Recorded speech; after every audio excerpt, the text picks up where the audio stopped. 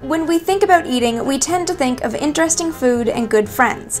Eating is generally a relaxing, social activity. But on missions to the moon, it was a little more scientific.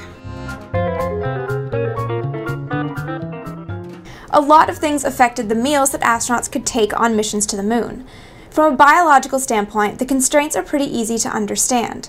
Meals had to be nutritious, have the right calorie density, the right nutrient balance, and they had to be readily absorbed into the astronauts' bodies. They also had to be something that the astronauts would want to eat. The practical considerations were less obvious. The food's weight and the time it would take to prepare and eat the meal were taken into consideration.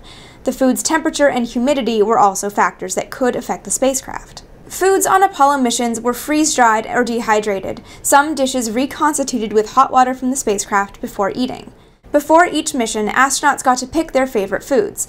Their choices were then assembled into roughly 2,500 calorie, nutritionally balanced meals and worked into the flight schedule. There were four different meals for breakfast, lunch, and dinner, and the mission schedule cycled through all four, so meals were repeated. And one staple throughout the entire program was bacon squares. Bacon squares were included in roughly half of every breakfast, and some lunches and some dinners.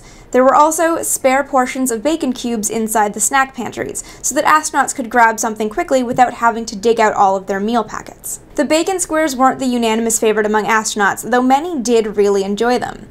Specifically, Apollo 7's Walt Cunningham and Apollo 8's Jim Lovell. Both made comments to Mission Control during their flights along the lines of, happiness is bacon squares in the morning.